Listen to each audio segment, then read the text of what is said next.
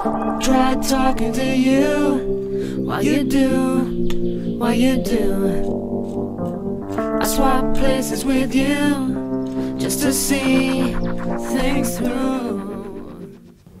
You open a pack of seeds up,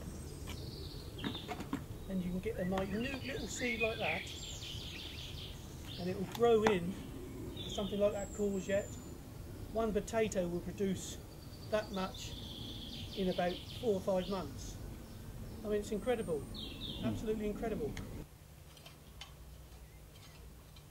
This is a courgette plant that I grew from seed and it will give you courgettes throughout the whole of the summer when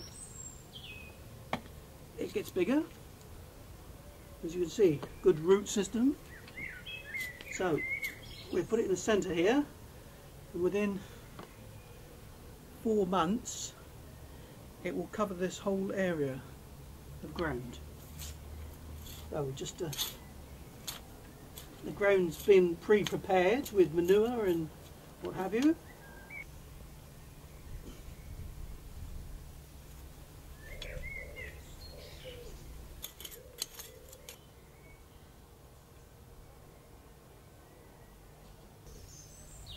Let me tell you, if you ever get married, A, get a shed, and B, get a bit of land away from the house and it's your domain.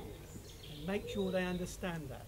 Because believe you me, they will be down here trying to take charge of this as well.